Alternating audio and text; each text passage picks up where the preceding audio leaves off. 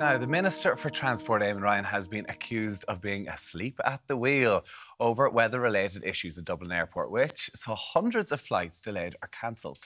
And of course, Mattie McGrath, always ready with a line, says if he wasn't asleep, he'd want to be de iced, is what he said yesterday. Uh, travel expert Eoghan Corry is here with the latest. Oh, and it's lovely to have you here. This travel is definitely becoming a political hot potato with what we have seen this year. So, are we going to see repeats of what happened during the summer at specifically Dublin Airport We're, again at Christmas? Dublin Airport tell us, and they're right, they're ready for Christmas for the security queues, all of that sort of thing. The real problem we're in is every time we, we get ramped up to pre pandemic levels of traffic and something gets tested, we fall over the tripwire. It happened with the security queues, it happened in the baggage hall, and it happened with de-icing last Friday. There was no reason. It wasn't a particularly cold day. It was just the first day that that number of flights had to be de-iced again at Dublin Airport. Some of the airlines do their own. Some of the airlines use third-party handlers. Nobody was ready for it. They actually, everybody just started and when you lose that first wave, there's a first wave of flights in Dublin Airport. Starts around with the Frankfurt flight and it goes through to about nine o'clock. And if you lose that, you're not going to get it back during the day. So everybody was in trouble. And then seven o'clock in the evening, Ryanair cancelled a whole lot of inbound as well, because quite clearly, the, the modern aviation works that Ryanair don't fly to a city and back again. Every Ryanair aircraft takes off six times a day. Mm-hmm. So they once you uh, an aircraft runs into trouble in one airport, and it happened again on Monday with the snow in Stansted, knock-on flights yeah. don't uh, get affected that you don't expect. We've a boxing team in Hamburg trying to get home since Monday, right. still in the airport, and yeah. that's a Hamburg to Dublin flight that was unaffected by. Uh, anything except the fact that the, the, aircraft was in the wrong city. We have something like, we had over, uh, on Friday, we had about 20,000 passengers in the wrong city that went grew oh you know six eight thousand on Saturday with about three or four thousand yesterday. We've flights gone today to France. We've lost Charles de Gaulle and Orly because of snow in France. So every single small these are small problems. The aviation's good at recovering, getting all of these sorted. But they're not small problems if you haven't done it for three years, and that's what we're dealing with here. Uh, but the lack of preparedness, and, and, even like that's Friday. What 140 flights are cancelled yeah, around colossal. last Friday, yeah, and like 50 or so on Monday. I even just looked at it this morning. Arrivals coming in. There's 28 arrivals before nine o'clock. 12 delayed. of them yeah. are delayed or cancelled. Like so, five so, inbound cancellations and four outbound today. We lost the Washington, second Washington flight yesterday. So whenever so you hear people having a go at Eamon Ryan, the Minister for Transport, saying you're asleep at the wheel, like should the DA like should they not have been prepared for this? But there, it, where the blame gets laid um, Eamon Ryan isn't in the, working in the baggage hall. What's happened is there's so many strands. It's a complex industry. And we're only learning really how well it fits together, how complex it is, and how well it fits together when it starts going wrong. And that's what we've been learning since the. But all, all businesses are having to deal with this. Yeah, but hold so, on. Is like, it not a domino effect? Businesses. If you've got weather and you can't take off from France, obviously a flight isn't going to come into Ireland. You can't go, well, that's Eamon Ryan's fault. It's, it's, it's dom- weather. Dominoes on top of dominoes. We had baggage hall problems on Friday because the staffing in the baggage hall was done by the same people who de-ice, who were already being held up. And you well, had, no, that's well, an issue. So that's all of issue. that, all of these things bits of aviation that you don't expect to start going wrong go wrong because People someone who else do the de-icing are meant to be in charge of the baggage. I mean... No, it's a staffing issue in general. I mean, it's not exactly the same people, but the companies are okay. dealing with it. Has that uh, been has that been resolved? As we saw, when you're working in yeah. an airport, you need an awful lot of, gov- of, of guard the clearance, all that kind of stuff. Is that issue resolved? Because you're saying that they don't have enough teams out there, essentially. Uh, staffing is still a problem. It's still and, a problem. and remains a problem, and will remain a problem, not just in Ireland, but right across Europe. It's, Manchester security queues are the running story in aviation yeah. in England at the moment. We've got uh, airport problems all over Europe. So it's not like Schiphol in Amsterdam. That's pretty bad. Schiphol and Heathrow were the, were the headlines. They yeah. were they were the Champions League of airport malfunction dysfunction this summer. Okay. But there are lots of other airports, smaller. Toronto internationally was pretty much up there.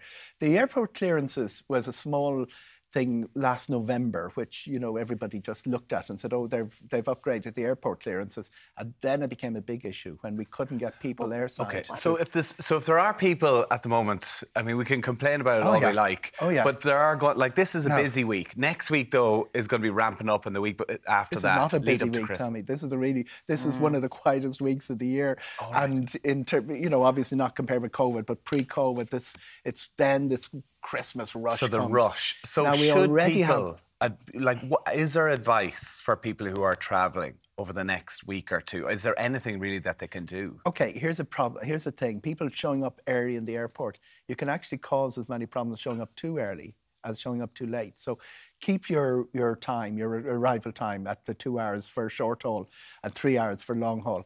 If the flight gets delayed, you have your rights you know, but what uh, you have a certain amount, you have rights to food, all of those sort mm. of things.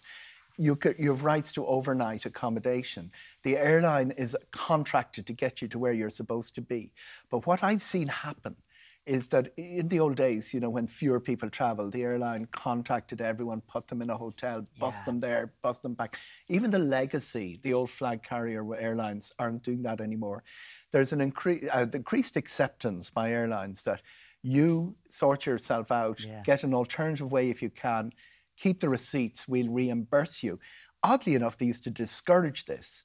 Now they're at a stage mm-hmm. where they're saying, uh, you know, if you do it, we'll we'll pay you because the the sheer catch up is proving much bigger problem for the airlines than they expected for their own for for reasons of their own staffing and their own aircraft getting stranded yeah. in the wrong place and all of those other knock-on problems like strikes and yeah. go slows and they're they're all lurking around in the background yeah. as well. It's just been a, a, a series of problems. Every time there's a solution, another problem arising in aviation. So we're just wondering, um, for because you know the airport used to be a lovely experience. Now it's quite stressful. You know, people are very stressed about it. Can still be a lovely experience. It yeah. can, um, but we're just wondering, you know, if you've had issues in the airport, whether it is you had to get reimbursed or overnight stay, and you've been fighting oh, yeah. 0896 111 Love to hear from you on that. But what is going on with the you must be talking in the industry about why airports can't recruit because it used to be seen as oh my god i got a job in the airport for three months over christmas this is amazing.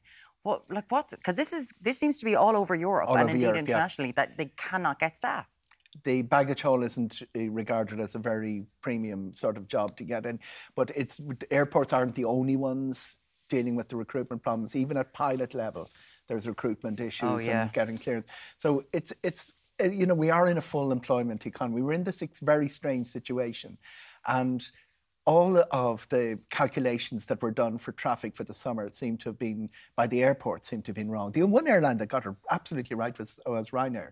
They kept their pilots, they kept their cabin crew, they kept their aircraft certified. They've reaped the benefit. They're now going to be something like, by a margin of 30 million, the largest airline in, in Europe in wow. terms of passengers carried when the figures come out in a couple of weeks' time. Very important, uh, flightrights.ie, they're the arbiters. Okay. If, you're, if you've gone to go first to your airline and if you've still got problems getting resolved, flightrights.ie. And I emphasize the .ie because there are gougers out there putting up flight rights websites and charging people for it. So that, you know, if you Google flight rights, you might end up in the wrong one. Wrong Go one. to the official government uh, appointed arbiter, the Commissioner of Aviation, flightrights.ie.